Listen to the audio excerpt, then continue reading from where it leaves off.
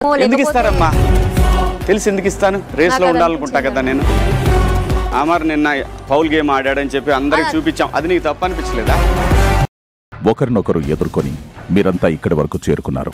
Big boss ఇంట్లోంచి ఎవరిని బయటికి పంపాలో నిర్ణయించుకొని మీ ఆఖరి నామినేషన్స్ చేసే సమయం ఆసన్నమైంది. నామినేట్ చేయాలనుకునే వారి ముఖాన్ని టైల్పై స్టాంప్ వేసి టైల్ని పగలగొట్టి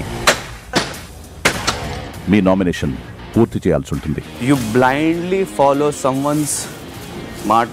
శెట్టి గెట్ లాస్ట్ అని రాయడం నాకు నచ్చలేదు కాబట్టి గెట్ నేను loss I say Amardeep uses using a brain said that I'm very less active in the kitchen. పని తక్కువ చేయడం అనడం వేరు.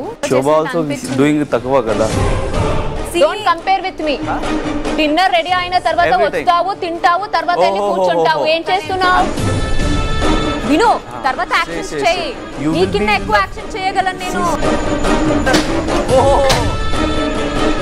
ఎందుకో ఒక చోట అరే అన్న గివ్ అప్ ఇచ్చారేమో ఎందుకు ఇస్తారమ్మా?